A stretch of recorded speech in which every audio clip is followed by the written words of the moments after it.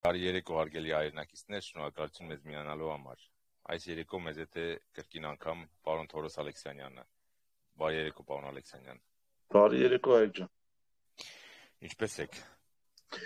Ոչինչ, շնորհակալություն։ Դուք լավ եք։ Պարոն Ալեքսանյան, այսօր մենք ցանկանայինք մեր զրույցը շարունակեինք աշխարհի իրական տերերի հետ կապված մեր անցած հաղորդման ոնց որ շարունակությունը քանի որ լայն արձագանք ստացավ առաջի հաղորդումը, կցանկանայինք ավելի շատ խորանայինք այսօր։ Խնդրեմ, այ ջան։ Խնդրեմ։ Բայց եթե կարելի է այդ մինչև այդ հարցին անդրադառնալը մի մի բան ես ուղղակի նայում եմ այդ մեր YouTube այդ բաների, ուրեմն վիդեոների տակ որոշ մարդիկ ինձ հարցեր են հղում այդ մարդկանցից ես ներողություն եմ խնդրում, որ այդ հարցերին այնտեղ ես չեմ պատասխանում, դա սկզբունքային հարց է, որտեվ այդ YouTube-յան այդ բաների վիդեոների տակ եթե սկսենք հարց ու պատասխան, դա մի շիլաշփոթ սկսվի, նո այնտեղ ստիպված կլնեմ մի ամբողջ դասախոսություններ որոշ մարդկանց հասկանում եք դրա համար այդ մարդիկ թող ինձ ներող լինեն որ ես այդ այդտեղ ես չեմ մտնի իզուր ելի եմ ասում թող այդտեղ ինձ իզուր հարցեր չեղեն բայց այնուամենայնիվ հետո մի բան էլ կա, որ որպեսի մարդիկ հասկանան, էլի ինձ շատ ու շատ մարդիկ կան, որ այսպես կոչված ֆեյքերի բանակներ կան, որոնք հետևում են ու ասենք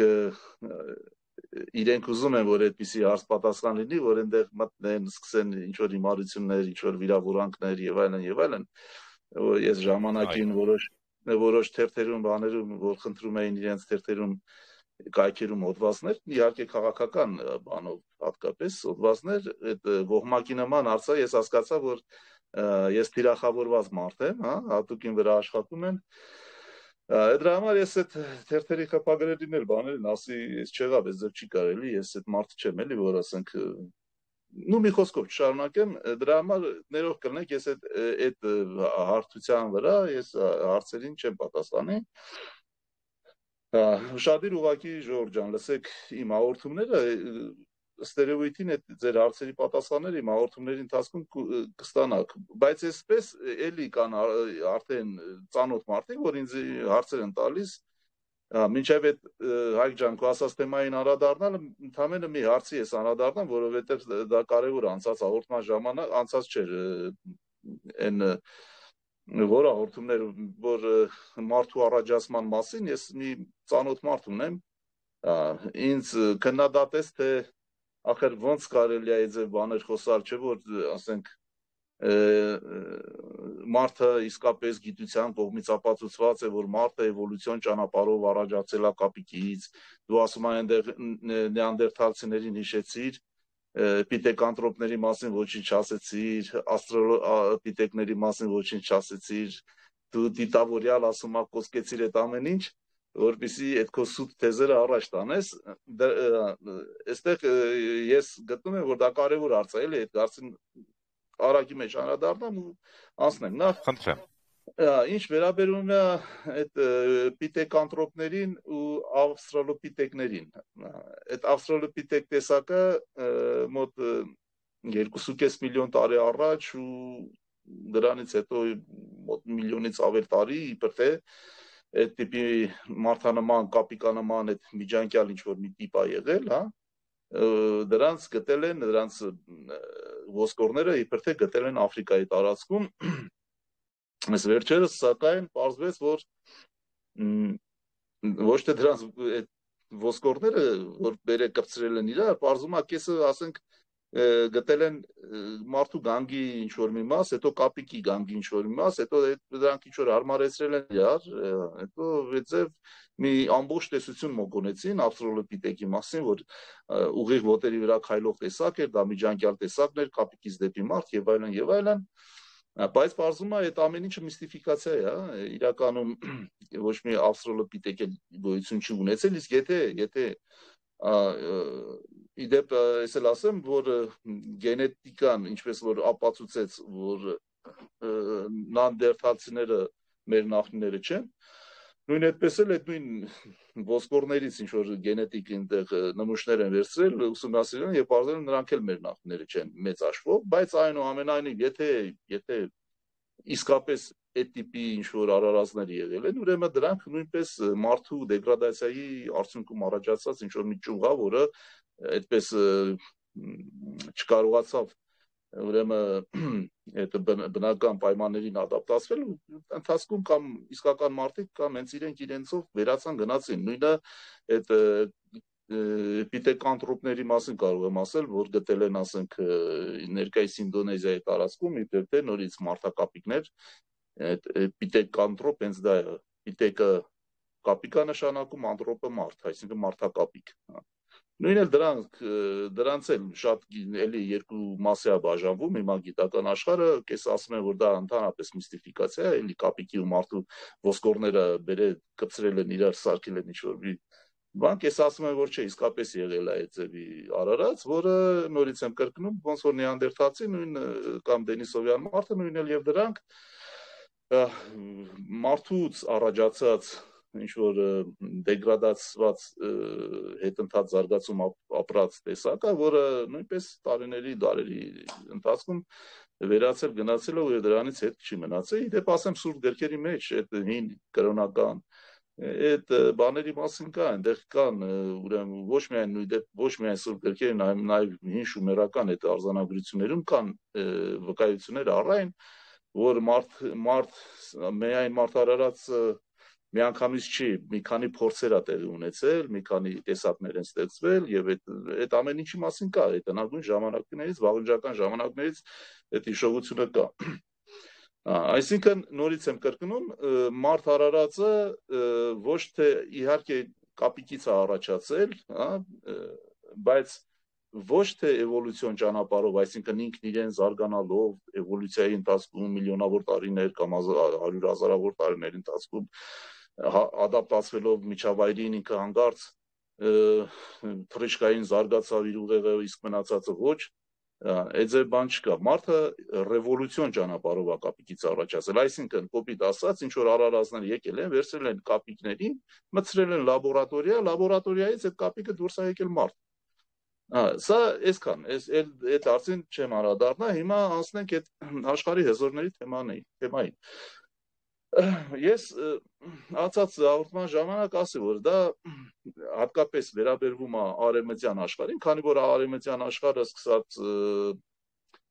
նու կարելի ասել վերածննդի դարաշրջանից կամ ռեֆորմացիայի դարաշրջանից 16-17-րդ դարերից դած ինքը հեգեմոնիկ դիրք գրավեց ընդհանուր մոլորակի վրա դրա համար այդ էլիտաները որոնք որ ձևավորեցին արեմտյան աշխարհում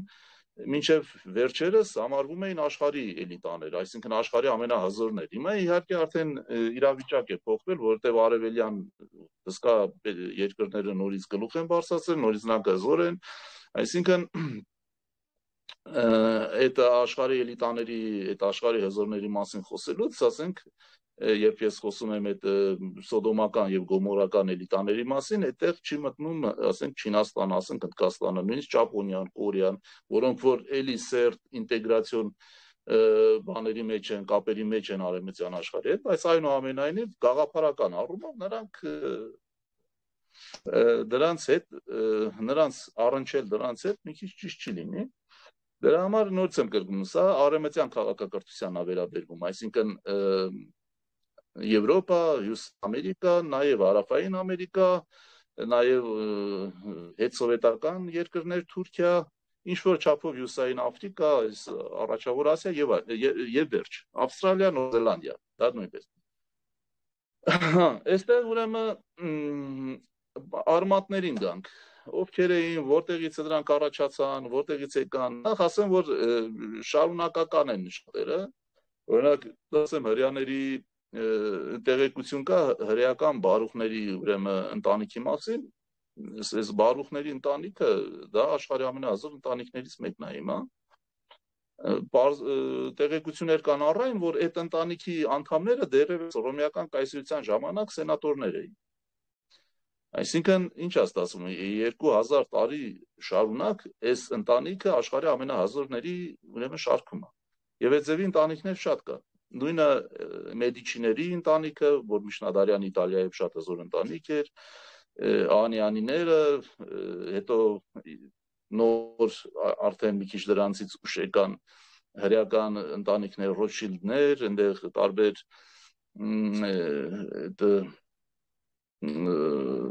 նու անունները հիմա բան չանենք այդ ընտանիք առ ընտանիք իմո ցուցակը կա դրանց անուններով, դրանց ունեցվածքով եւ այլն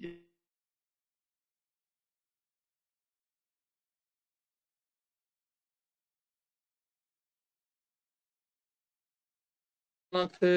ինչ տեղ ունեցավ, սկսենք այնտեղից, որ Եվրոպայում միջին դարերում 10-րդ դարից արդեն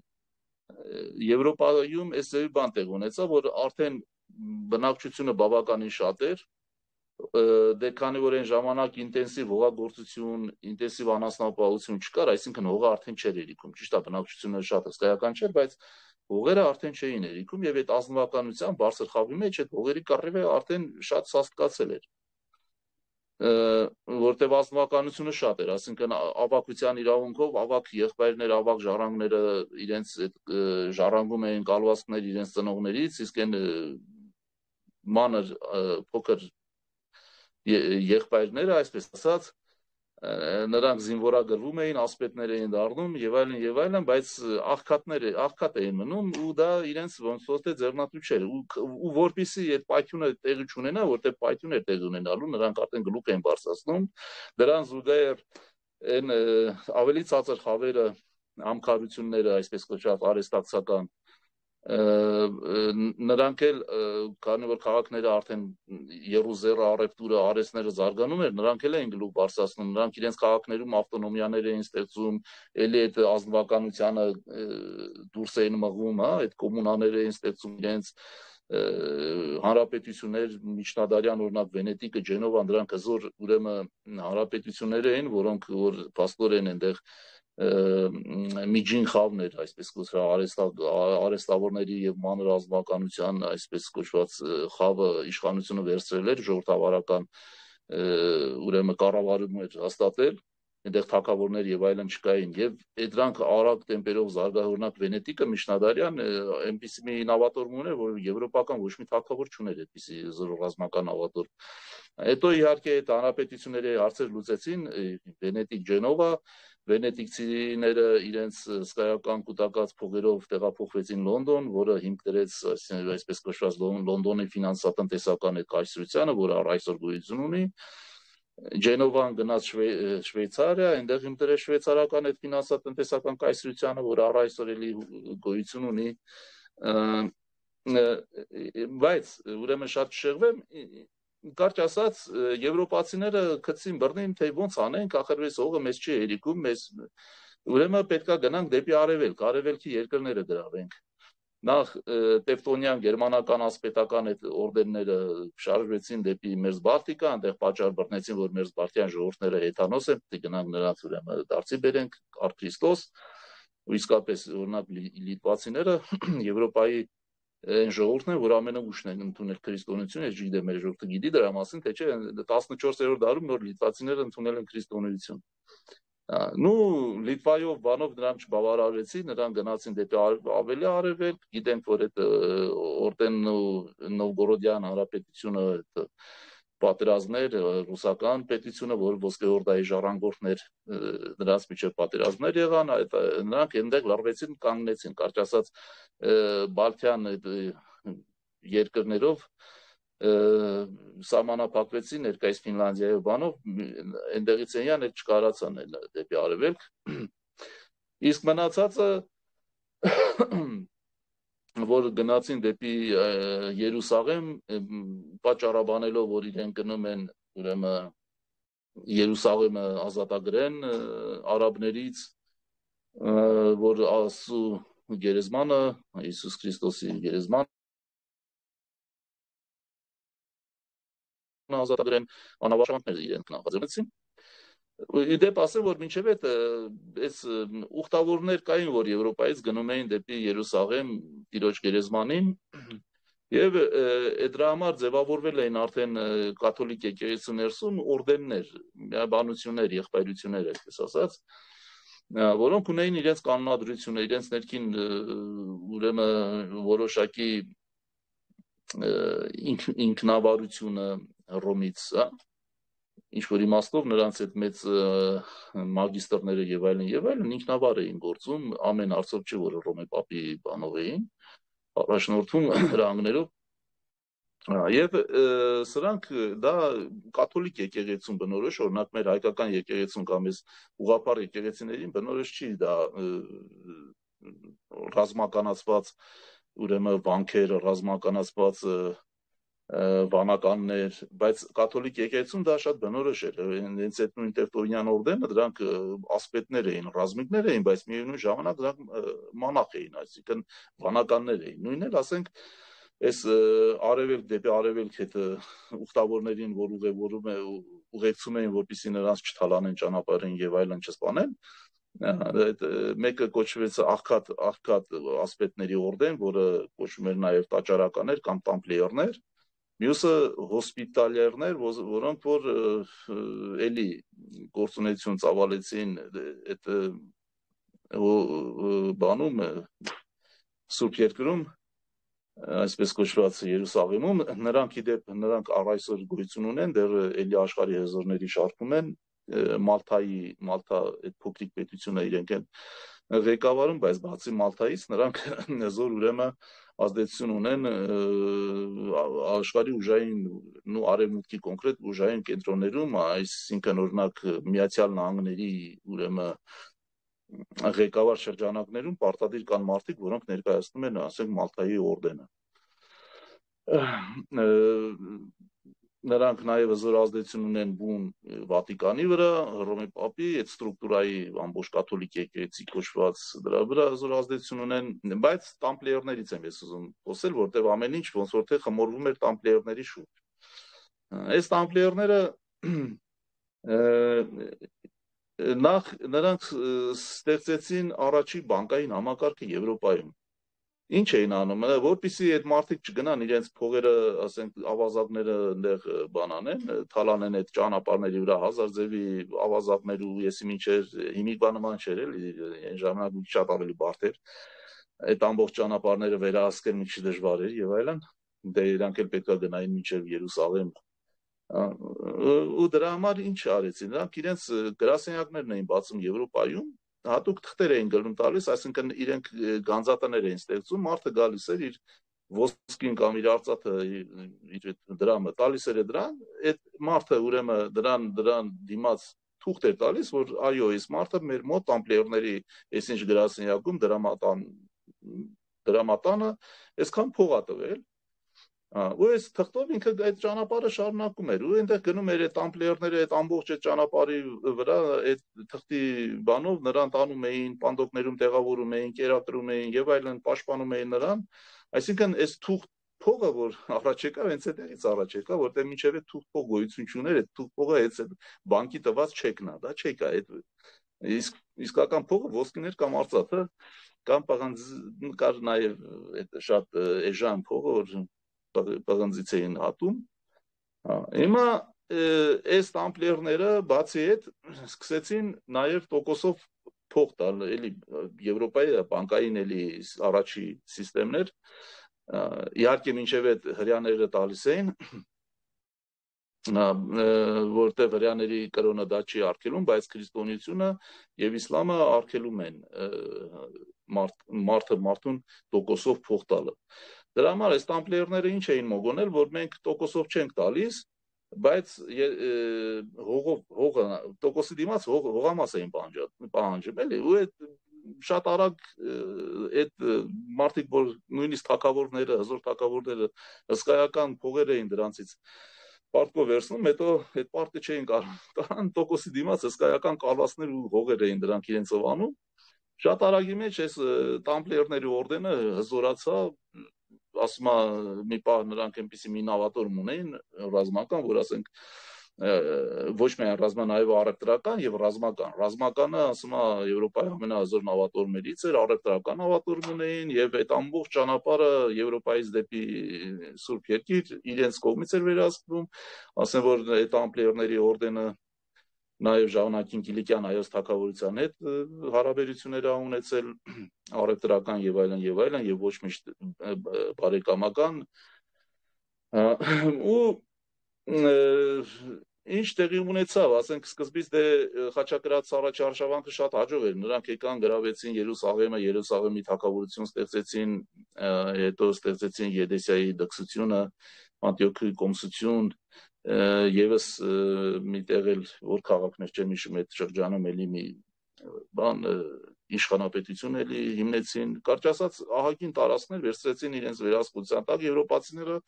ու կամաց կամաց այդ որ ասում են մանր ազդվականությունը որ հողեր չուներ սկսել գալ նրանք եկան եւ այստեղ այդ արևելքում իրենց կալվածներ էին զավթում, այդ արաբներին վտարում էին այդտեղից իրենք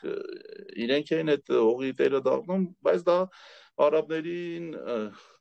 իհարկե արաբների դուրը չէր գալիս, նրանք պետքա ասենք պատասխանը եւ Սալահադդին իրենց այդ Եգիպտոսի սուլտանը հրճակավոր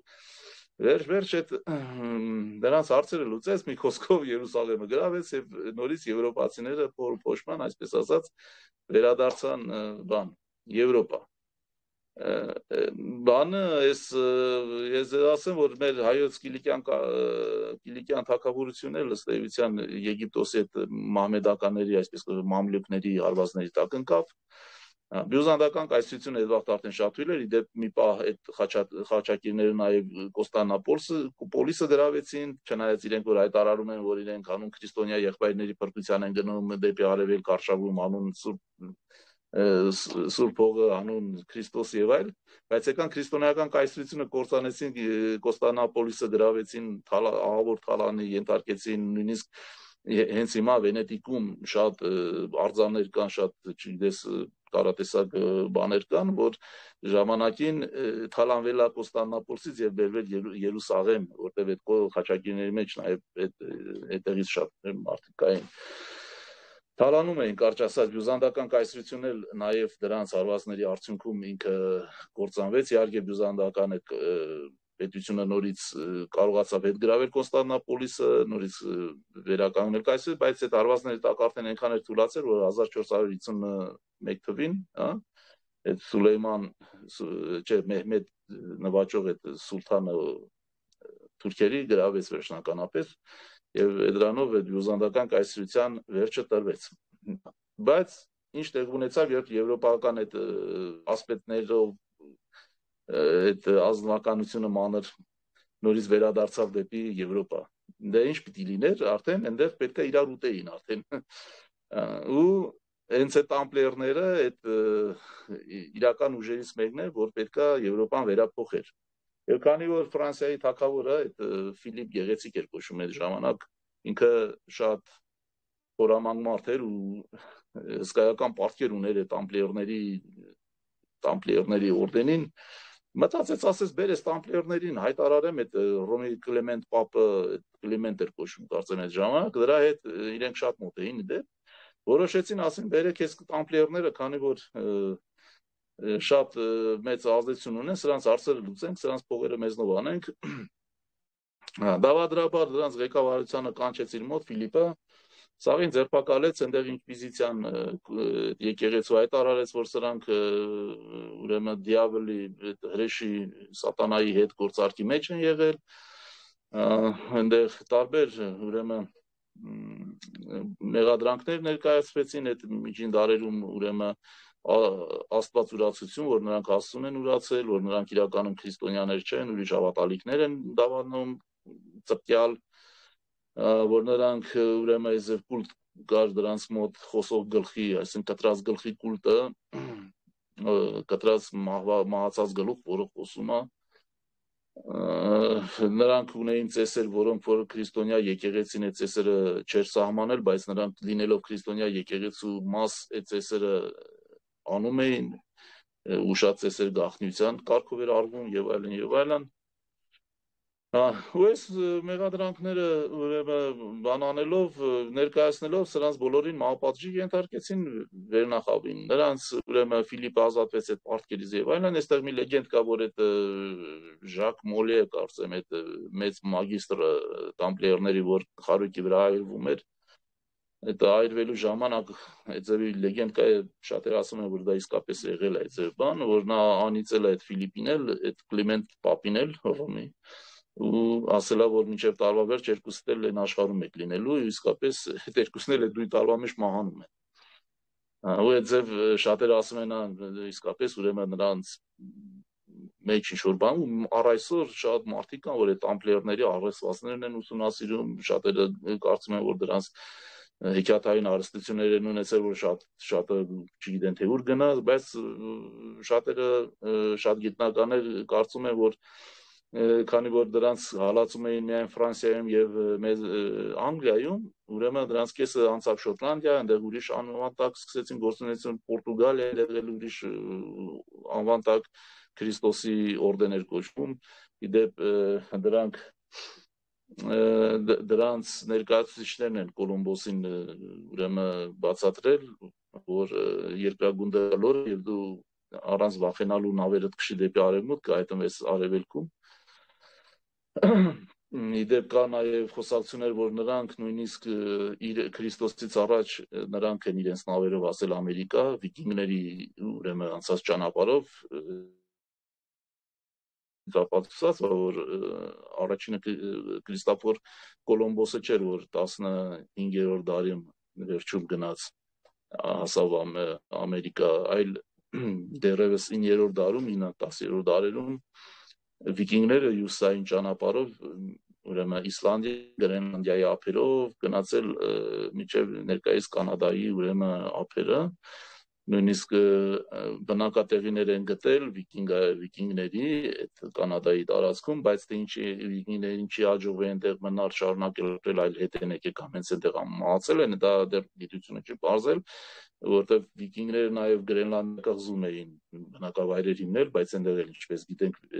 մահացան կեսներից հետ եկան, բայց օրինակ այդ հյուսային փոքրիկ կղզին Իսլանդիա նրանք բնակեցրեցին եւ առ այսօր այդ վիկինգների հետնորդները Իսլանդիայում ապրում են, չէ՞ Հա, հիմա իբր թե տամպլերների շարունակությունըից այդ ուղությամբ գնացել են Ամերիկա եւ իրենց գանձերը ընդեղ են պահել, հիմա շատերը Ամերիկան նրանց գանձերն են ման գալիս եւ այլն, բայց շատ տամպլերներ Ֆրանսիայից անցան Շվեյցարիա եւ Ավստրո-Հունգարիան երբ իր ժամանակ շատ հզոր կայսրություններ, երբ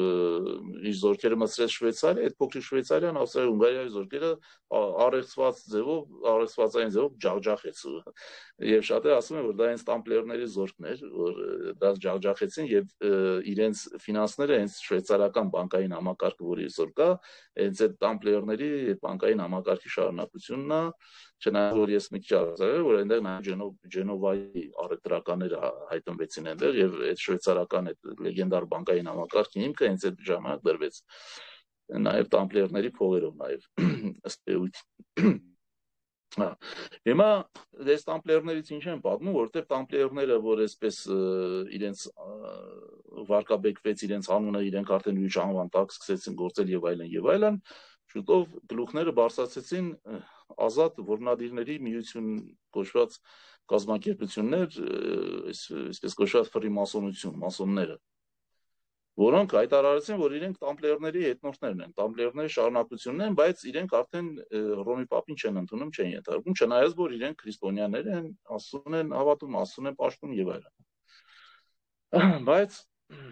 ինչի որնադիրներ, այստեղ այստեղ այդ իմ ասած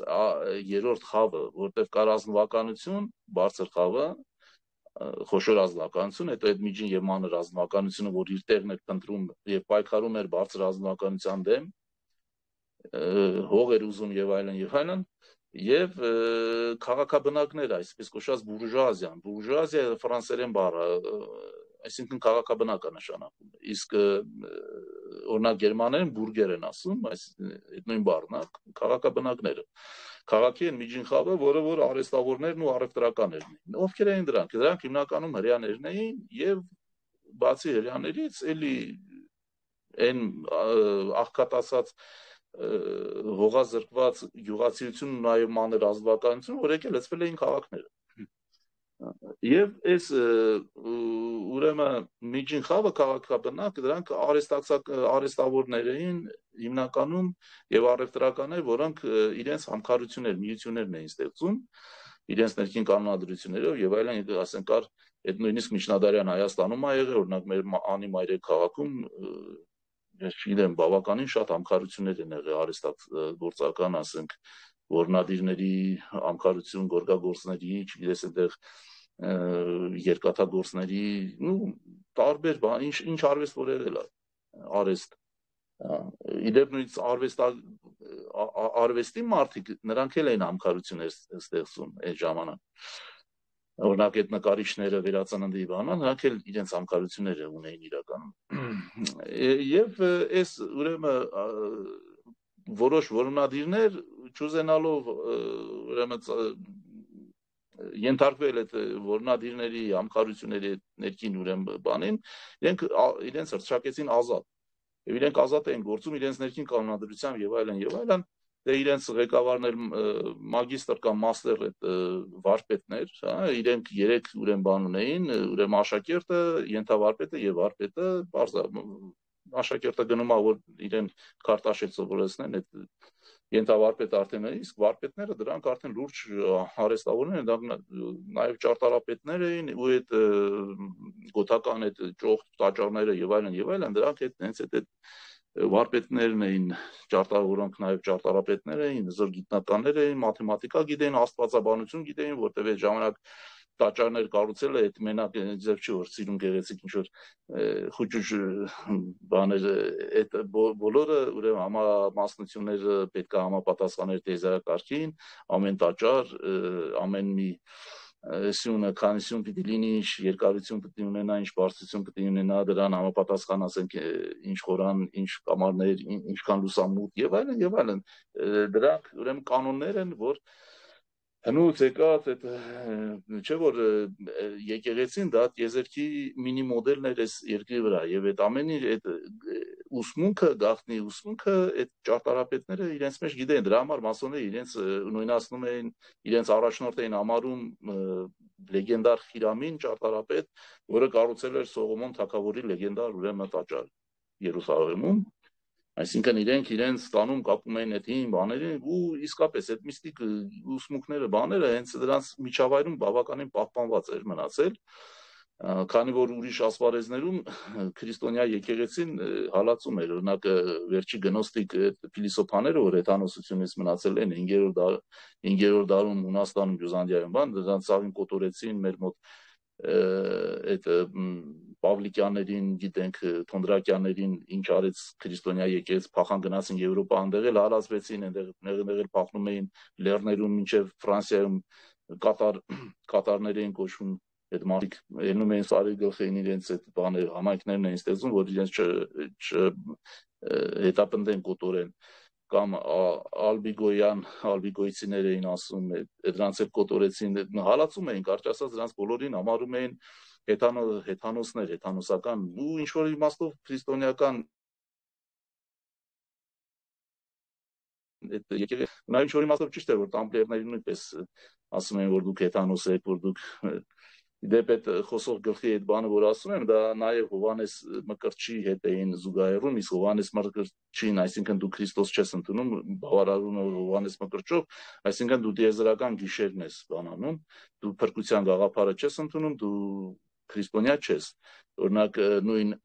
պարամասոնական ասենք Opus Dei կազմակերպության անդամ էր հրճակավոր Լեոնարդո դա Վինչին, որը միշտ խորթավոր նկարներ էր անում, որ սիմվոլիկա կար այնտեղ, ասենք Հովանես Մկրտչին միշտ առաջնային դեր էր անում, այնտեղ Հովանես Մկրտչի միշտ մատը վերև տնկած հիմա չասեմ այսին ոլները որ ինչ է նշանակում եւ այլն ուղղակի ուզում եմ ասեմ որ այո իսկապես է ձեւի բանկար որ այդ մարդիկ նաեւ հрьяաների հետ շփվելով նաեւ արևելք որ եկան այդ մահմեդականության հետ շփվելով արևելյան եկեղեցիներ հա, հայերի հետ շփվելով նաեւ ինչու ոչ հայ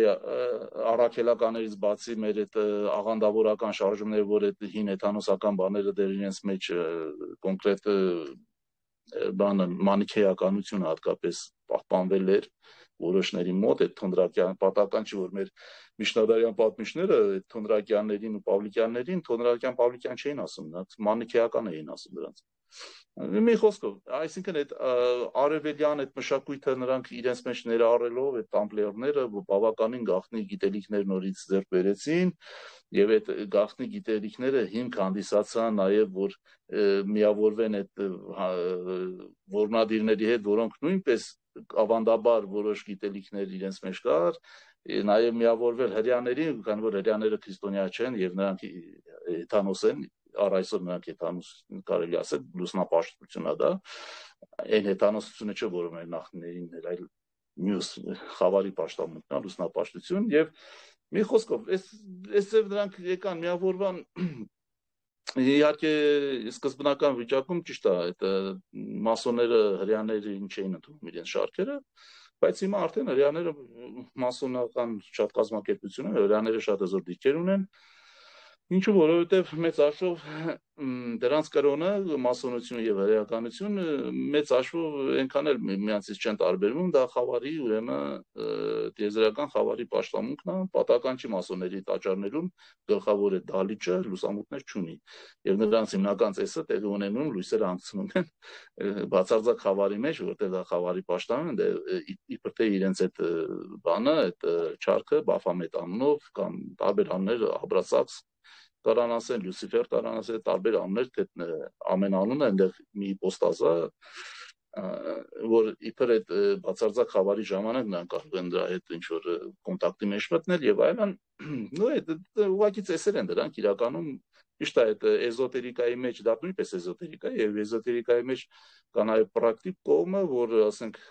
կախարդանքա կոչում եւ այլն եւ այլն, այդ կախարդանքները ավելի շատ ավելի շատ հոգե հոգեբանական փորձառություններ են այսինքն մարդկանց դնում են ինչ-որ հոգեբանական վիճակների մեջ եւ այդ մարդիկ սկսում են ունենալ այնպիսի զգացողություններ, որ սովորական պայմաններում չեն ունեն։ Այսինքն ասել, որ այդ ամեն ինչը ֆոկուսա ուղակի սուտա չէ, դա նաև ինչ որ հիմք ունի, ճշմարտություն ունի։ Եվ այս մարդիկ միավորվելով սկսեցին քաղաքական պայքար բարձր ռազմականության դեմ, որպեսզի ու այդ բոլոր հեղափոխությունները, որ սկսվավ Եվրոպայում, այդ լիբերալ արժեքներ, մարդկանց հավասարություն, մարդու իրավունքներ եւ այլն եւ այլն, սրանք այդ ժամանակ առաջ մղեցին ու այդ ժամանակ մասոնությունը փաստորեն դրական միսիա դերակատարություն ունեցավ իդեպ այդ մոդան ամբողջ այդ բարձր ազնվականության մեջ տարածվեց այդ բարձր ազնվականները գնում գնում էին մասոններ դառնում էին մասոններ որտեղ դա շատ մոդայիկ էր ու դա այսպես կոչված խայծ էր իրենց համար որտեղ նրանք չէին հասկանում որ այդ ամեն ինչը իրենց իրենց դեմ է ուղղված այդ մոդան նաև օսմանյան կայսրություն եւ ռուսական կայսրություն հասավ նաև մեր հայկական միջավայր մտավ օրինակ Կոստանդնապոլսում Ստամբուլում եղել է հայկական օթյակ այսպես կոչված Այկորիոն օթյակը շատ երևելի հայ մտավորականներ նույնպես մասոն են եղել օրինակ Մկրտիչ Պեշիկտաշլյան մեծ բանաստեղծ ունեինք կամ ասեն Ռուսաստանում մեծ գործիչ ունենք, որ միայն հայկական բանով չի ինքը սահմանա, ինքը Ռուսաստան ամբողջ ռուսական կայսրության մասշտաբի գործիչ էր նա, շատ լուրջ Միքայել Նալբանդյանի մասին խոսքս ստեղեկություններն նույնպես, ասենք այդ բաների մեջ էր, որտեղ այն ժամանակ համատարած էր, ասենքն բոլոր մտավորականներ, լուրջ մտավորականները, բոլոր այդ լուրջ մտածողները մասոնական այդ համակարգի մեջ էին ներգրաված ու այդ ազատության գաղափարները իրավահավասարության որ վերջ պետք է դրվի ստրկությանը, վերջ պետք է դրվի դասակարգային հասարը, որտեղ մարդկանց արդեն այդ միջնադարյան այդ կեղտոտ ուրեմն միապետական դիկտատուրաները մարդկանց արդեն այստեղ էին հասրել, իսկապես մարդիկ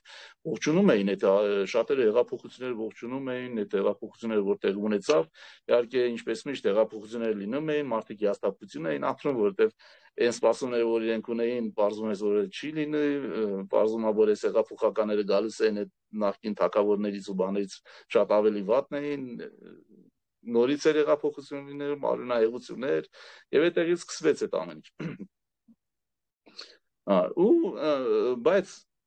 նորից եմ ասում, մասոնները ինչ են ասում, հայ նրանք գախնի են, պահում ամեն ինչ բան։ Դա իսկապես այդպես է, որովհետեւ մասոնները հայտարարում է, որ իրենք հավատացյալ քրիստոնյաներ են կամ եթե մահմեդականա, ասենք թուրք մասոն են, ասում են ինք հավատացյալ բանա, մուսուլմանը, հա, Ալլահին հավատում եւ այլն, բայց իրականում այդպես չի, իրականում ծածուկ նրանք ուրեմն ապաշտում են այդ 5 թև իդեպ ես անցած անգամ այդ մեր հաղորդման ժամանակ երբ անդրադարձա այդ բանին սոդոմական ու գոմորականներին, որ աշխարհի տերերին կարելա պայմանականորեն ասել սոդոմականներ եւ գոմորականներ։ Գոմորականները դա դե պայմանականորեն հрья ծայրահեղականներն են, սոդոմականներն են պայմանականորեն մասոնությունն է, հա։ Ուրեմն ես նշեցի, որ դա 5-թև եւ 6-թև աստղերի կռիվն է։ Ինչի 5-թև եւ 6-թև, գիտենք, հрьяաների խորտանիշը հիմա նրանք է նաեւ Դավթի աստղն ասում, չնայած մամեդականների մոտ Դավթի աստղը 5-թև աստղ չներություն։ 6-թև աստղը մամեդականները Սուլեյմանի աստղեն ասում, այս Սողոմոնի, բայց ըստ քրիստոնեական եւ հրեական ավանդության այդ Մեգան Շալոմ Սողոմոն, հա, եւ Մեգան Դավիթ 5 թե 6 թե 5 թե 6 թե աստղեր դրանք ինչ աստղեր են իսկ դա մեր հերավոր նախները դրան բան էին ասում աստղիկ էին ասում հենց այդ ձև աստղիկ որը ուներ երկու ցիկլ հա արուսիակ եւ եւ լուսաբեր, որը լուս, իր մյուս էպոստազում լուսիփերն էր, որը լատիներենում լուսիֆեր է դառնում կամ լուսիֆեր։ Այսինքն դրանք երկուսն էլ գիշերն են, տեզերական գիշերն են եղել, այսինքն խավարը, հա։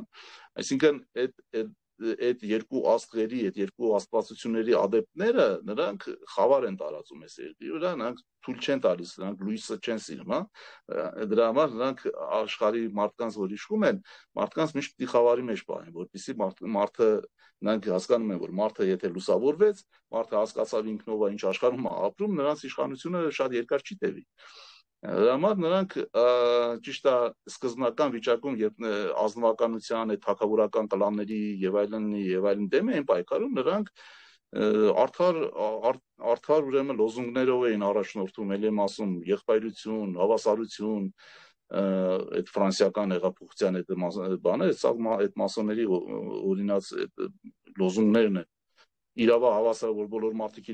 իրավա հավասար են միացյալ նահանգները որ ստեղծվեց դա մասոնակ մասոնների կողմից ստեղծված պետություն էր նրանք սահմանադրություն գրեցին որ էտալոնային է որ առ այսօր բոլոր պետությունների ուրեմն սահմանադրությունը հիմքում հենց դա է այնտեղ անկյունակարային է ժողովրդավարությունը մարդու իրավունքներ եւ այլն եւ այլն այդ ամեն ինչ լավ է շատ լավ է բայց այսօր հաջությամբ մասոնները, քանի որ իրենք արդեն են առաջի ֆունկցիան կատարեցին եւ այդ բարձր ազնվականությանը ոչնչացրեցին կամ նրանց ուղղակի վանեցին իշխանական այդ պալատներից եւ իրեն գրավեցին այդ ամեն ինչ նրանք արդեն անցան իրենց երկրորդ ֆունկցիային այն է որ այդ որ ես ասում եմ մարդկությանը ընկղմել խավարի մեջ, ուրեմն բովանդակությունը մարդկանց ուղեղներից անել, մարդկանց ձևականություններով գերակրել, այսի միքվայս ամբողջ այդ գիտությունը, այդ գրեհկության ռոպագանդան, տեսեք ամեն ամենուր այդ մշակույթուն եւ այլն եւ այլն ամենուր այդ ռոպագանդվում է գրեհկություն, ռոպագանդվում է դեստրուկտիվ ինչ որ բաներ հասարակության մեջ, հա, ասենք LGBT եւ այլն այդ ամեն ինչը ինչ են անում, որպեսզի հասարակությունները խոցելի դառնան։ Կնոջ կնոջի բանը այսինքն այնպես են անում, որ ընտանիք ինստիտուտը վերացն վերացնեն այն արժեհամակարգ են ներարկում ներկայի ժամանակակից ջահելնության ուղեղների մեջ լինի աղջիկ թե տղա որ նրանք չկարողանան ընտանիք կազմել ուղղակի այդ այդ արժեհամակարգով երիտասարդները միասին երկար չեն կարող ապրեն յոլա չեն գնա իրար կուտեն կոպիտ ասած ու կբաժանվեն դրա համար հիմա շատ ազվագյուտ է չէ որ ձեր սիրով լավ ընտանիքներ ամուր է նո որտեվ այդ ինստիտուցիոնալ այդ ամեն ինչ ավերվում է ինստիտուցիոնալ եւ դրա համար արևելքում այդ հզոր մշակույթներ ունեցող ժողովուրդները կողքից նայում են, Չինաստանում հատուկ Գեորգիև են ստեղծել դրա համար, որը կապիկություն է նշանակում, ասում են արևմուտքի վայրենությունները իրենց կապիկություններով իրենք իրենց տունն են քանդում ու ճիշտ են ասում։ Հա, դե նրանք ասում են այդ լուսնապաշտություն, այդ խավարի պաշտամունք, այդ Լուցիֆեր, Լուցիֆերը ցա հապուշություն է, էլի, ասենք հապուշությունների հետևից են։ հա, Բայց արևմուտքի այդ էլիտաները դրանք հապուշություն չեն համարում եւ իրենք իրենց իսկապես համարում են, որ իրենք ունեն միսիա։ Իդեպ մասոնության մեջ այդ բարձրացչան մասոնները Հենց այդպես էլ կոչվում են գեհենի առաքելներ, այսինքն դժողքի նրանք նրանք ֆունկցիա ունեն, որ այս աշխարհը պիտի վերացնեն դժողքի։ Նրանք կարծում են, որ իրենք պետքա այդ ամեն ինչ անեն,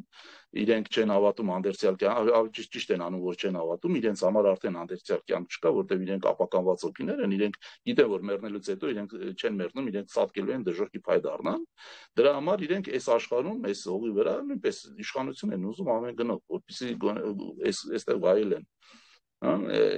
մեկը իրենք փուչ հոգիներ են, անկյալ հոգիներ են։ Իրենք գիտեն այդ դրա մասին։ Դրա համար իրենք ամեն ինչ անում են, շատերը էս մեր միամիտ ժողովուրդ, ասենք, ասում են, փողի կռիվը ախպեր փողի համար եմ։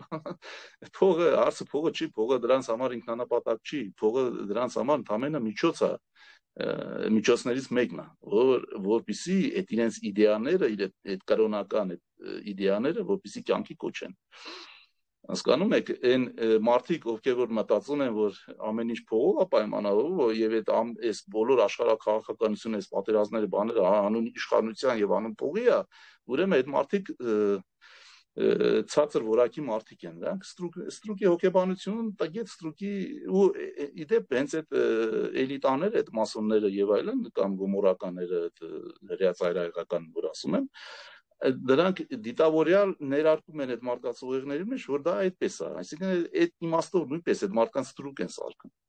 Այդ մարդիկ չեն հասկանում, որ այդպիսի բաներ ասելով իրենք մատնում են իրենց։ Այօրինակ մեր Հայաստանի բոլոր քաղաքագետներին ումը ուզում եք, հարցրեք, կդեք ասեն, հա դե ասա մեծ աշվով փողի եւ իշխանության կռիվ։ Էլ չեն հասկանում, որ այդ բանը, որ իրենք ասեցին, դրանով իրենք ցույց տվեցին, որ իրենք դուրս քաղաքագետ կոչվելու իրավունք չունեն, կամ եթե իրենք գիտեն այդ դրա մասին ու չեն ասում, դա ավելի վատ։ Ու ես այն հազվագյուտ մարդկանցից եմ այսօրվա դրությամբ հայ իրականության մեջ, որ հայ ժողովրդին այս ճշմարտությունը ասում են։ Իդեպ ասեմ, որ այս այս ամեն ինչ, որ ես ասեմ, որ սա եթե ես այս ամեն ինչ մասին խոսում եմ, ես նաև մեծ ռիսկի եմ դնում, որովհետև այնուամենայնիվ ճիշտ է, մեր հայ հայերին այդ աշխարհի զորներ լուրջ չեն ընդունում, մտածում են, որ հայերի մեջ չկան այդ մարդիկ, որ այս ամեն ինչի մասին գիտեն, բայց որ հանկարծ իմանան, դե անznարարական քիչեսնենք, ասեն, այս ձեր մոտ էս ինչա տեղի ունենում, ես մարդնով է, որ իրեն թույլ տալի այդ ամեն ինչի մասին խոսա եւ ձեր ժողովրդի աշկերը բացի։ Հասկանում եք, Ուրեմն այդ է, ուր մասոնները այդ տամպլերներից, այդ միջին եւ փոքր ազնվականություններից այդ արեստա արեստավորներից այդ ազատ որմնադիրները որ կային եւ այլն եւ այլն դրանց ուրեմն կոնգլոմերատը իդեպ նրանց մեջ էլ տարբեր էլի քրիստոնեական եկեղեցու տարբեր օրդեններ կային օրինակ ճիզվիտների հիսուականների օրդենից շատերը էլի պարամասոնական կազմակերպություններ ստեղծեցին այսպես կոչված իլումինատներ ընդ ռոզենկրեսներ եւ այլն եւ այլն տարբեր ուղություններ եւ բոլորը գախտնի իրենց գախտնի ծեսերով, իրենց գախտնի ուրեմն այդ միստիկ ուրեմն ուսմունքներով, բայց այդ ինչքան էլ գախտնի լինեն, ինչքան էլ միստիկ ու թաքցնենեսյանեն մեծ աշվով էսպես է դա խավարի պաշտամունքն է, դա լուսնապաշտության մի տեսակ է, այսինքն չարի պաշտամունք եւ նրանց այդ բոլոր այդ պաշտելի գերնական ուժերը դրանք մեծ աշխուժ սորական չարքերն են չարքեր են չարքերի են պաշտում եւ իրենց ֆունկցիան նորից եմ կրկնում այս աշխարհի վրա դժոխ ստեղծելն է եւ նրանք այդ ուղությամբ լավ աշխատում են որովհետեւ եթե նրանք այդ ուղությամբ չաշխատեն եւ նրանք նորմալ ասենք մտածեին մարդկանց բարօրության մասին մարդկանց իսկապես ազատության մասին եւ այլն եւ այլն հիմա աշխարհում բարեկեցություն է լինելու որովհետեւ այս գիտության ներկա պայմանները ներկա տեխնոլոգիաները թույլ կտային որ մարդիկ շատ ավելի բարեհաջող ապրեին հիվանդությունները ավելի քիչ լինեին պատերազմներ շատ քիչ լինեին, բայց դες իրենք դիտավորյալ պատերազմներ են չեղած տեղից հրահարում, մարդկանց են կոտորում իդեպ այդ մարդկային զոհաբերությունների մասին էդ էլ իրենց իրենց պատկերացմամբ ինչքան շատ անմեղ մարդ կոտորեն, այնքան իրենց համար լավ։ Այդ էդի ես հետո հատուկ կարմայի թեմային կանրադառնամ եւ մարդկային զոհաբերությունների մասին էլ կասեմ, թե իմաստը որն է, ինչ են մարդկային նրանք շատ այդքան շատ սիրում մարդկանց հատկապես անմեղ մարդկանց կոտորել ոչնչացնել եւ այլն ու հատկապես հայերին են շատ սիրում ոչացնել, որովհետև հայերը մեղավորություն ունեն լինելու արիացիների ժառանգորդները, չնայած որ հոգեկերտվածքով հիմա հայերը շատ ավելի վատն են, քան թե ասենք հрьяաները կամ չգիտես ով արժանամակարգով բան, այսինքն մեր հասարակությունը մեծամասամբ ահավոր դեգրադացված է եւ մեր մարդկանց գերակշիռ մեծամասնությունը իսկապես մեծ իսկապես գոյեր են, հա, բայց այնուամենայնիվ բան է, օրինակ մեր այդ ցեղասպանությունը որ բացատրում են ինչա հայերին ցեղասպանցին դե դեղ ասում են դե ինչա թուրքական նացիոնալիզմ է թուրքերը վախենում են որ հայերը արևելքի այս իրենց բուն տարածքներում պետություն կստեղ այդ ամեն ինչը կա այդ ամեն ինչ հասկանալի է բայց իրական ամենախորքային պատճառը դա չի խորքային պատճառը այլ է եւ այսօր էլ հայոց ցեղասպանությունը շարունակվում է Ես ձեզ ասեմ 1880-ական թվականներին հայ ժողովուրդը փոքր ժողովուրդ չէր 5 միլիոնից ավել էր աշխում այն ժամանակ 5 միլիոն դա մեծ թիվ էր որից ավելի քան 3 միլիոնը մենակ Օսմանյան կայսրությունում բայց ընդամենը 50 տարից 50 տարի հետո աշխարհի վրա հազիվ 2 միլիոն մարդ մնաց հայ հայ ազգության որտեղ ոչ միայն Օսմանյան կայսրությունը դե այնտեղ գլխովին ջախջախեցին մենակ Կոստանդնոպոլսում մի փոքր ամեն թողեցին հայկական դե գլխովին վերացրեցին այ ժողովրդին իսկ ռուսական կողմում նույնպես ցեղասպանություն էր գնում ճիշտ է այդ massայական չէ, բայց այնուամենայնիվ անում էին ամեն ինչ, որպեսզի հանգարց հայերը ոտի չկանգնեն, որպեսզի հանգարց հայերը ինքնուրույն պետություն չստեղծեն, այդ ուժը, այդ պոտենցիալը չունենան ամեն ինչ անում են որպեսզի հայերի մեջ հակասելեկցիա լինի հայերի մեջ գտնում էին այն ամենակեղտոտ տականք վիժվածք massային անում դարձնում էին ղեկավարներ ոնց որ հիմա է այդտեղ ունենում նույնն էլ այն ժամանակ է տեղ ունենում ասենքն խորթային այդ տարիների սկզբին Լենին, Ստալին, այս Ստալինից հետո նոր մի քիչ թույլ տվեցին մի 30 տարի հայերը այսպես քշված կարողացան ապրել, բայց նորից այս 30 տարիա նորից ուրեմն հայոց ցեղասպանությունը բանա վերադարձել են հատկապես այս վերջի 20 տարիները ու այս 20 թվականի պատերազմից հետո ցավոք սրտի ուրեմն նույնիսկ խնդիր խնդիրը այնպես է դրված որ կարողա եւ ցեղասպանությունը իրականացվի ամբողջությամբ դե հիմա հուսանք որ դա այդպես չի լինի որ այս այստեղից էլ կպլստանք եւ գոնե Հայաստանը կիսանկախ ինչ որ մի փոքրիկ իշխանապետության տեսքով մի փոքրիկ երկիր էս լեռների մեջ հույս ունենանք որ կպահպանվի բայց ելի եմ կրկնում կպահպանվի միայն այն դեպքում երբ որ հայ ժողովուրդը ավելի ուշադիր ուրեմն լսի այն ամեն ինչը ինչի մասին ես խոսում եմ, հատկապես այս մեր մտավորականություն կոչվածները, որոնք որ սիրում են պորտախոսությամբ զբաղվել, մեծամիտ բայց երբ հետները զրուցում ես, բարձում է այս մարդը նո լավ